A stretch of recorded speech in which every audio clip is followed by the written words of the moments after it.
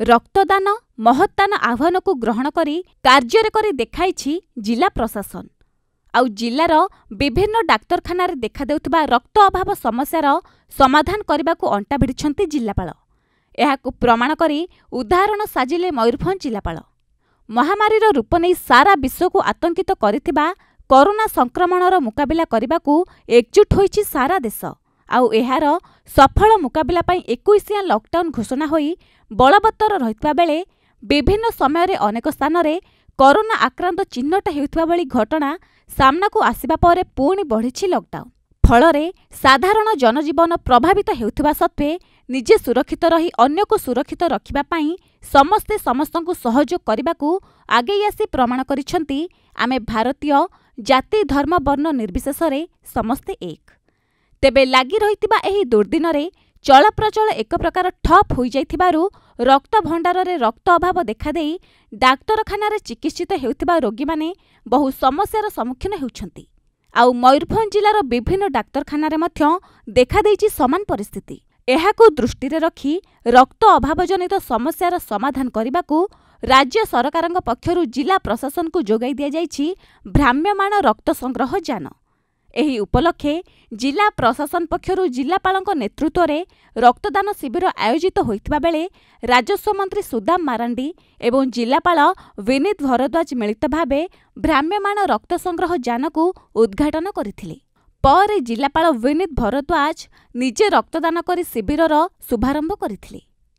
ଜିଲ୍ଲାର ସମସ୍ତ ବ୍ଲକ ଅଞ୍ଚଳରେ ଭ୍ରାମ୍ୟମାଣ ରକ୍ତ ସଂଗ୍ରହ ଯାନ ମାଧ୍ୟମରେ ରକ୍ତଦାନ ଶିବିର ଆୟୋଜନ କରାଯାଇ ରକ୍ତ ଭଣ୍ଡାରରେ ସୁରକ୍ଷିତ ଭାବେ ଗଚ୍ଛିତ ରଖାଯିବାର ବ୍ୟବସ୍ଥା କରାଯାଇଛି।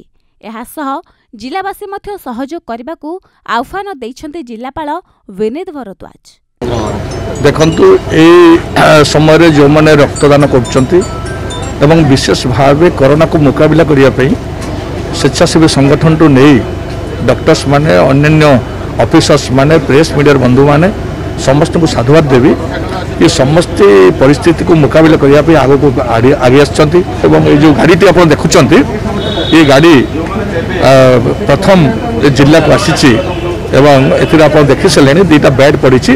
ବୁଲି ବୁଲି ଏହି ସମୟରେ ଲୋକଙ୍କ ପାଖରେ ପହଞ୍ଚିକରି ଏ କ୍ରାଇସିସ୍ଟାକୁ ରକ୍ତର ଅଭାବକୁ କିପରି ଭାବରେ ପୂରଣ କରାଯିବ ସେ କାର୍ଯ୍ୟକ୍ରମ ମଧ୍ୟ ନେବା ପାଇଁ ମାନ୍ୟବର ଓଡ଼ିଶା ସରକାର କାର୍ଯ୍ୟକ୍ରମ କରିଛନ୍ତି ଏବଂ ସେଥିରେ ଆଜି ଆନୁଷ୍ଠାନିକ ଭାବେ କଲେକ୍ଟର ସାଙ୍ଗରେ ଆମେ ତାକୁ ଲୋକଙ୍କ ସାମ୍ନାରେ ମଧ୍ୟ ପ୍ରେଜେଣ୍ଟ କଲୁ କି ଏଇଟା ଲୋକଙ୍କ କାମରେ ଲାଗିବ। ଆମର ଜିଲ୍ଲାର ଯେଉଁ ବ୍ଲଡ୍ ବ୍ୟାଙ୍କ ଅଛି ସେଥିରେ ବ୍ଲଡ୍କୁ ରିପ୍ଲେନିସ୍ କରିବା ପାଇଁ ଆଉ ଯେହେତୁ ଲକଡାଉନ୍ ଟାଇମ୍ରେ ଆମର ବେଶୀ କ୍ୟାମ୍ପ ହେଇପାରୁନି ବ୍ଲଡ୍ ବ୍ଲଡ୍ ଡୋନେସନ୍ କ୍ୟାମ୍ପ ତ ଆମେ ଆଜିଠାରୁ ନିଜ ତରଫରୁ କ୍ୟାମ୍ପେନ୍ ଆରମ୍ଭ କରିଛୁ କି ଆମେ ନିଜେ ନିଜେ ବ୍ଲଡ୍ କଣ୍ଟ୍ରିବ୍ୟୁଟ୍ କରିବା। सो दैट कि आम जिला लेवल जो ब्लड बैंक अच्छी से ब्लड सफिसीयंट आवेलेबिलिट रही जिलार जिते भी पेसेंट्स रे क्या भी ब्लड रमी हे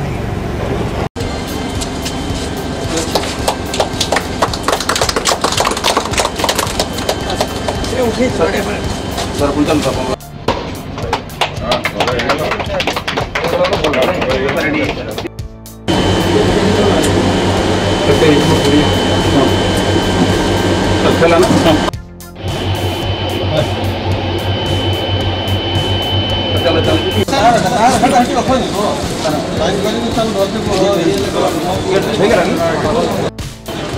ମୟୂରଭଞ୍ଜରୁ ଘାସିରାମ ବେହେରାଙ୍କ ରିପୋର୍ଟ ଓଏନ୍ଏ ଖବର